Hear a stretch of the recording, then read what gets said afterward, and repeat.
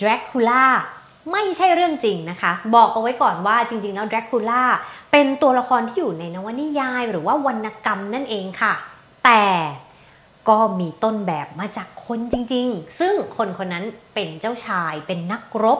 มีความโหดเหี้ยม แล้วก็เป็นนักรบที่มีชื่อเสียง นั่นคือวลาดที่ 3 เป็นเจ้าชายของดินแดนที่ชื่อว่าวาลาเคีย ซึ่งปัจจุบันวาลาเคียเนี่ยก็คือประเทศโรมาเนียนั่นเอง ทีนี้เจ้าชายวลาดที่3เนี่ยแหละค่ะ กลายเป็นแรงบันดาลใจ เพราะว่าโหดร้ายเหลือเกิน ให้กับนักเขียนชาวไอริชคนหนึ่งชื่อว่าแบรมสโตเกอร์นะคะเขาก็เอาเรื่องราวมาถ่ายทอด แล้วก็เขียนเป็นวรรณกรรมชื่อเรื่อง Dracula ขึ้นมาค่ะปรากฏว่าเรื่องราวของ Dracula ถูกนำกลับมาพูดถึงกันใหม่ ไม่ใช่เฉพาะในวันฮาโลวีนแบบนี้นะคะ หรือว่าจะเป็นเรื่องของหนังเรื่องของวรรณกรรม แต่เกิดขึ้นเพราะมีนักวิทยาศาสตร์ หรือว่าผู้เชี่ยวชาญ จากมหาวิทยาลัยคาทาเนียที่อิตาลีเขาศึกษาความสัมพันธ์ค่ะระหว่างดรากูล่ากับวลาดที่ 3 ด้วยการไปสกัดเอาสารชีวมวลคำว่าสารชีวมวลคืออะไรเหงื่อหรือว่าจะเป็นรอยนิ้วมือหรือว่าร่องรอยของน้ำลายของวลาดที่ 3 ที่อาจจะอยู่ตกค้างอยู่ตามจดหมายโบราณ แล้วก็เอามาวิจัยศึกษา ปรากฏผลออกมาน่าตกใจมากเลยค่ะ เพราะมันบ่งบอกชัดเจนว่าเวลาที่ 3 ป่วยเป็นโรคน้ำตาสีเลือด เคยได้ยินไหมคะโรคนี้คุ้นๆนะ ในบ้านเราก็จะมีข่าวบ่อยๆ บางทีเจอเด็กร้องไห้ออกมาน้ำตาเป็นเลือด มีชื่อเรียกโรคอย่างเป็นทางการว่า โรคฮีโมลาเครียค่ะ คือทุกครั้งที่ร้องไห้เนี่ยน้ำตาจะมีเลือดปนออกมาด้วย แล้วมันจะมีผลกับเรื่องของการมองเห็น สาเหตุต่างๆ ที่ทำให้เกิดก็อาจจะเป็นมีเนื้องอกที่ต่อมน้ำตา หรืออาจจะเกิดจากการอักเสบของเยื่อบุตา อาจจะไปประสบหรือการบาดเจ็บทางดวงตาก็ได้ และอีกหนึ่งข้อสงสัยหรือว่าข้อสันนิษฐานว่าอาจจะเป็นสาเหตุก็คือ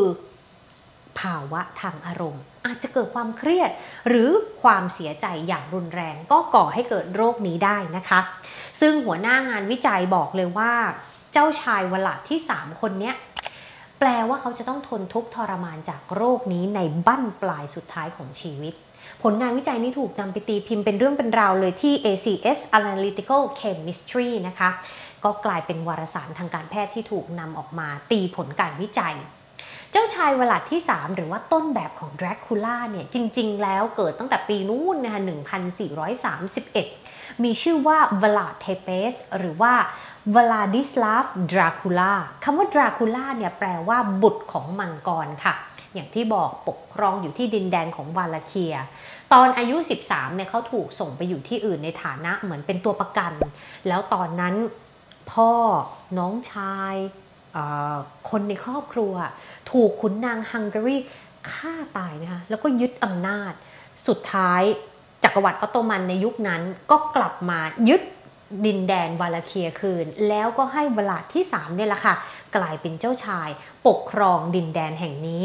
ตอนนั้นวลาดที่ 3 อายุ 17 เองนะคะ ก็ถูกตั้งเป็นเจ้าชายของรัฐ แต่ทีนี้อย่างที่บอกค่ะ คือเขาโตมาด้วยความ เครียดแค้นโตมาด้วยเรื่องราวโหดร้าย เพราะว่าทั้งญาติครอบครัวถูกลอบสังหาร มันเหมือนสะสมความแค้นอยู่ในใจ เวลาที่3เนี่ยก็เลยเติบโตมาด้วย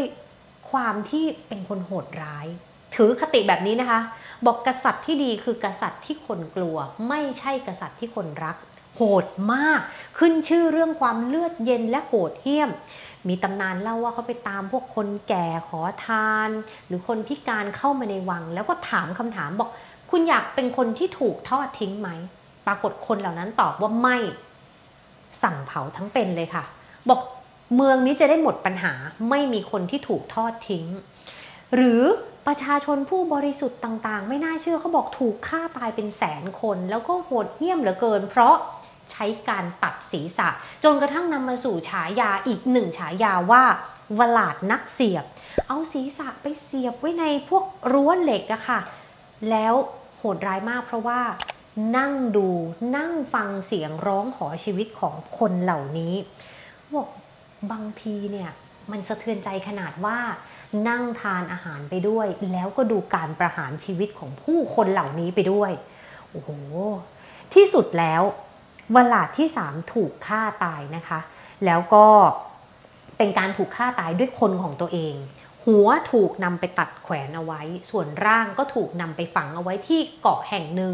แต่ปรากฏว่าในเวลาต่อมา คนก็ไปขุดที่เกาะนั้น จะหาโลงศพไม่เจอค่ะ นี่แหละก็เลยกลายเป็นตำนานที่ถูกเล่าขานกันต่อๆมา และสุดท้าย เรื่องราวของวลาดที่ 3 ก็กลายเป็นแรงบันดาลใจ ให้กลายเป็นบทประพันธ์เรื่อง Dracula ค่ะ